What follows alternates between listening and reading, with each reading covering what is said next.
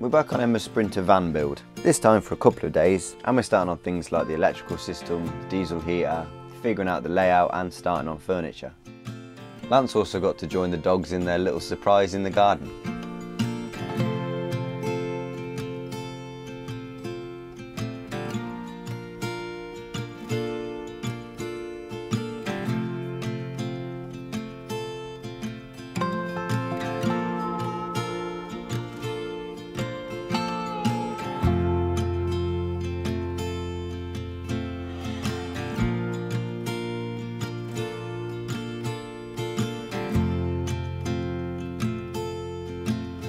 Couple of hours of playing in the garden and enjoying the weather, we headed over to the van and got started. There was a lot to do in these few days to really get the van pushed forward, and most of which were involving skills that were new to Emma. And speaking of skills, today's video is once again sponsored by Skillshare. Skillshare is an online learning community with thousands of courses for creative and curious people. Explore new skills, develop existing ones, maybe find a new hobby, and all in all just improve on things that you enjoy. This time I'm on Creativity Unleashed, Discover, Hone and Share Your Voice Online by Nathaniel Drew. I wasn't really sure what to expect from this one, but in the end I'm so glad I sat through it. Nathaniel brings all sorts of points up that I think every online creator feels from time to time, then ways and methods to overcome them. Things like insecurity within your content and what you think is valuable or not could be something completely different to someone else. It was a real breath of fresh air to hear his point of view, and I've come away with a lot of fresh perspectives. The first thousand of you to use the link in the description below will receive Skillshare for one month free. Right then, back to the van. The last time we dropped the spare wheel to fit the water tank, got all the fittings on, filler necks and pipes up in through the floor. We also got Emma's new cab chairs fitted despite the fact that they were a massive ball ache. We got the walls, the floor and the bed in. Quite a productive weekend. Now the last part of the puzzle that will make this van start to look like a home is the ceiling. Emma toyed around with all sorts of design ideas, but in the end decided to go for the old faithful tongue and groove slats. Lightweight, easy to fit, hold themselves together and they look great. The battens that we'd fixed into the roof right at the start are now doing multiple different jobs. They're holding the string in that keeps the insulation in place, they're holding the vapour barrier that's now stapled to them, and now there are fixing points for the slats.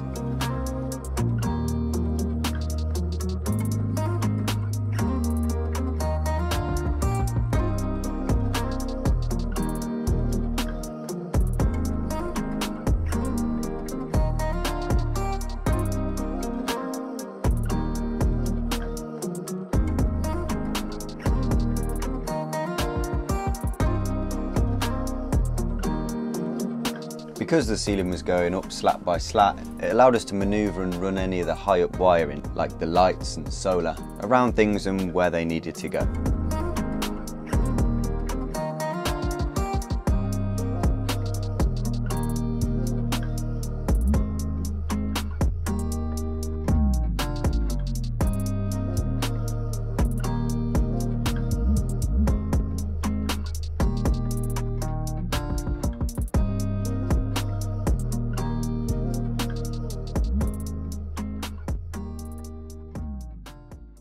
Whilst Emma finished off the ceiling, I got started on the electrical system. To start with, I was just putting in the main bulk and rigging it up with a temporary battery so that Emma had lights and power. I just want to get this to a point where you can, yeah, you can like use the electrical system and switch it all off when you're done. So you can like plug stuff in. Um, I think I've got a spare USB that I'm going to pop on there so you can plug your speaker in and shit. Ooh. You can actually start to use the electrics. Need to actually get some batteries and some solar panels. Yes. It's just a pit of expense building a camper van. Hmm. Not really a camper van, is it? Motorhome. Home on wheels. Hashtag van life. I Is said it? said to Jack the other day, like for payday, I've got twenty-eight pounds. Oh really? Like, how do you have twenty-eight pounds? I can build a house. We managed to miss a light right at the front near the door, but again, thanks to the tongue and groove, you can just unscrew a panel, slide it out the way and run the wire. So thankfully we didn't have to take the entire ceiling down. Now that the insulation, walls and bed were in, Emma had finally made the decision that the bed wasn't wide enough. So the options were to fit fiberglass side pods or the cheaper option, steal some space out of the inside cavities of the wall. This granted reduces insulation in the walls, but it's no different to having a window. So she decided to go for this option. It would have definitely been easier to do this job had the bed not been in and the walls not fastened up, but that is a van build for you. You can plan for every eventuality till your heart's content. You'll still come across challenges and hurdles that will make you change designs and go one step forward, two steps back. I had it on my van and now Emma's having it on hers. So we're cutting the walls out using a multi-tool, sliding and fixing battens in, squeezing in some insulation where we can, and then setting the walls back and fixing in some returns.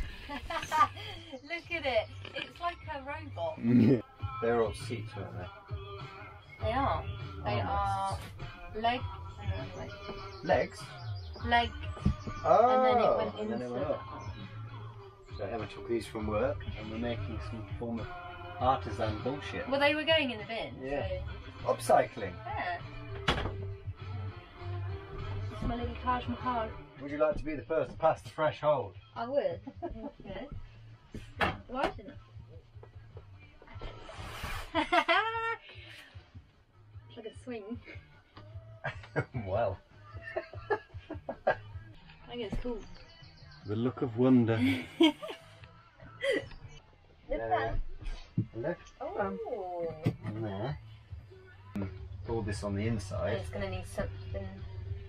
Well, I mean, we can maybe get on with your sofa if you want. Or. No, we want to start that side, don't we? Unfortunately. We could start framing up your bathroom, Could do. seeing where that starts to get to. Yeah. And then, yeah, from there it's then Cupboard. board cupboard. Yeah. Mm-hmm. And then you've got what you've. Sofa. Yeah, your sofa then. We, I don't come. Do we come to there? I think so. Yeah. Big I think. I even gave myself to there. What, and I- then cupboard? Oh no. I was including cupboard. I was sofa. Oh, right, right. Okay, I was going to say, because we've got to No, no, sort of yeah. finish that off, haven't we? Um, because I was thinking, even if the sofa, I think I'd like the limit to be that the sofa starts here, like at the very smallest, right. Because I'm just thinking of the corner Yeah. takes up room, doesn't it? Yeah. And I know it's, I'd like it to. Yeah. Yeah, you sort of want to make that bit where the wheel arches, don't you? Yeah. Sliding out. So then at least you've got like one like fat ass seat, Yeah. and then a corner. Fat ass seat. We started marking out the furniture on the floor to get a feel for the layout, so we could decide the thickness of everything, the walkthroughs, angles, where the bathroom starts and stops, and how big the sofa is. Just trying to figure out um, where everything's going. So we've got log burner plinth going here, kitchen all the way along, uh, protruding over the door slightly. Just having a sofa raised up slightly here, but also a bit that's coming out to make like an L-shaped sofa that retracts, and that'll also double up as the way into the bed. The mini Taj Mahal. But what you don't want to do is make this walk through just like a proper squeeze. Um, it gets really claustrophobic otherwise if this is all walled here. Um, it's going to be a bit like "Ooh, through the van. So yeah, we're just trying to figure it out at the minute. I say that Emma's gone to make a cup of tea, but Oh, ow! you're right. Oh, she's gone. I got toe cramp. He just fell out spectacularly out of the van. No, I got toe cramp. Toilets here. So, what's your thought for bathroom then? Shower over in there, is it? Yeah. And then toilet in that corner.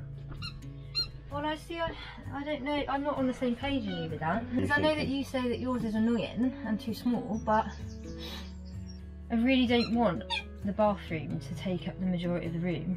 Hmm. So, is that going way back then? I think so. But I mean, well, maybe yeah, a little bit over here because of uh, fitting the heater in. Yeah. And then the rest? Cupboard. Yeah. Oh, so it's going to be a big cupboard. Yeah. Ah. You could drop it back a bit then. Yeah. Ah, okay.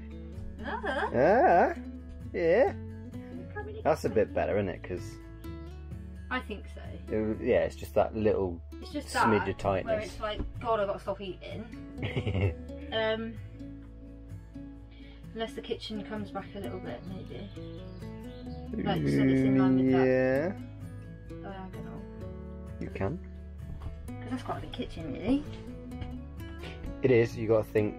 Oven is one block. Sink. Fridge, sink. Yeah, sink, Uh, I mean, I guess you can drop the sink in above the fridge if you raise it up enough. But then a bit of workspace.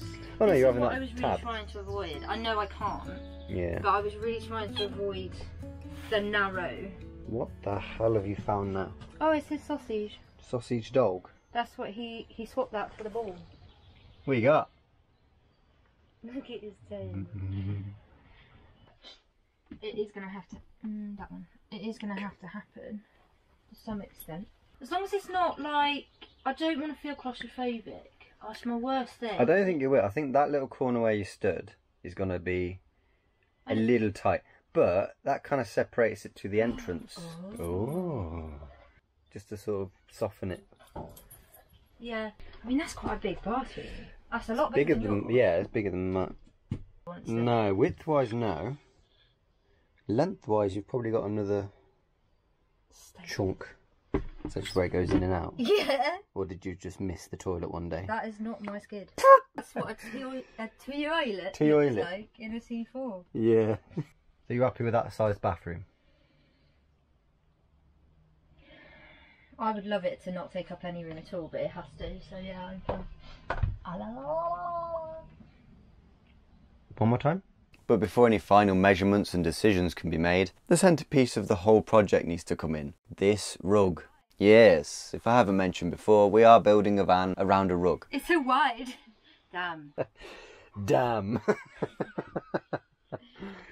This is what I was saying. I think it needs to be like, and then the cupboards come out. yeah. and Yeah, you can have, um, slide the rug in. What's the word? They have them in the kitchen, don't they? Kickboard yeah. sort of drops back. That can be done quite easily. I mean, It's not that far off. Oh, feels nice.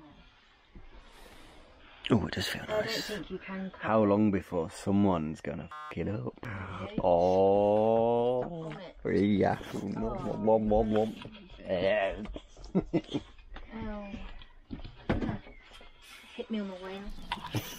So we really just did the tape and come up with a solution that would allow the rug to fit. But before we got too stuck into the driver's side furniture, we finished off the window return.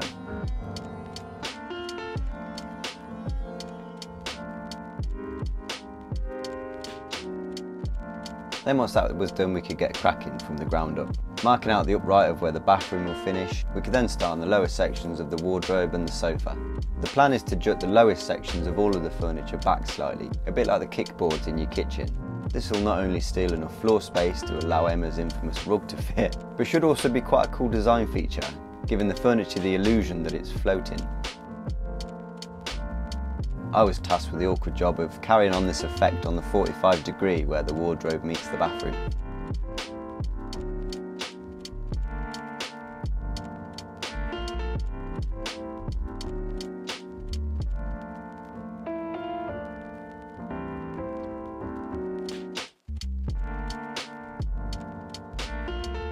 She's resorted to beer. Mm-hmm.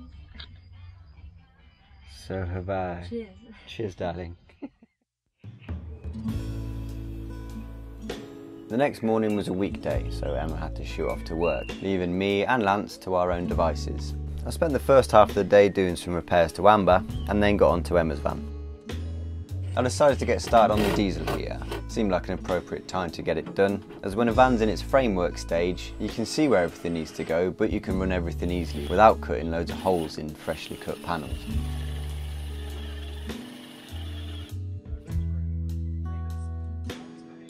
strongly recommend buying one of these turrets if you're going to fit a diesel heater, especially if you've got an insulated floor.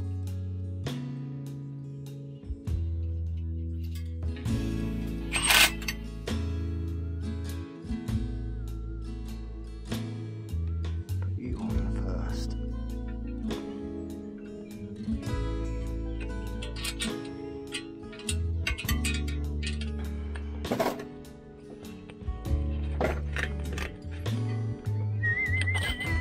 Second Emma returned home, she was straight in to give an extra pair of hands. Lovely. Flat. Ah, there it goes. Lovely. With everything now neatly hanging out the turret underneath, it was just a case of fixing it up. I also gave the turret a quick bead of PU sealant to seal up where I'd cut. Plug it in, we're good to go. Yeah, boy.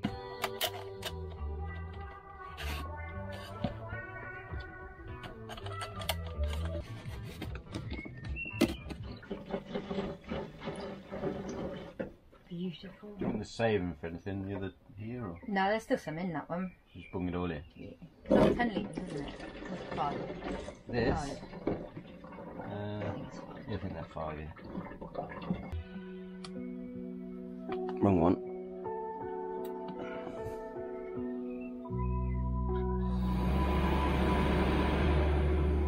Ah. Really learn to turn the music off. She goes.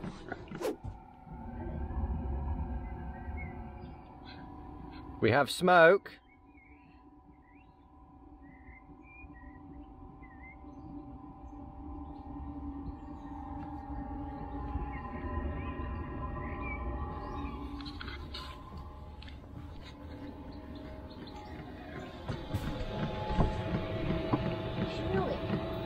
And we have heat.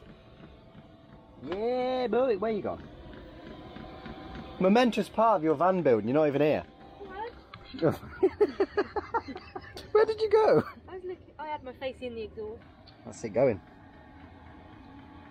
She's alive. Is the voltage dropped? Yeah, we got the voltage back now.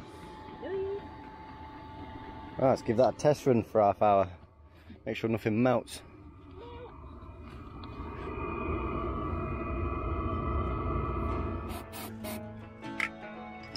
On the gas tank from this van.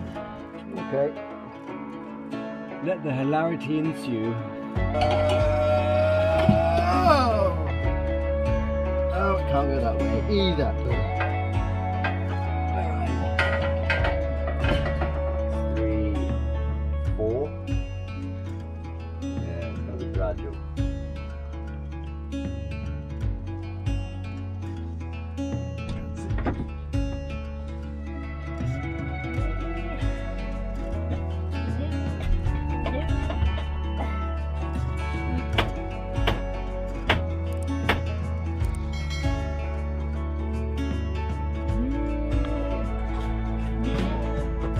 Pimm's and Pie.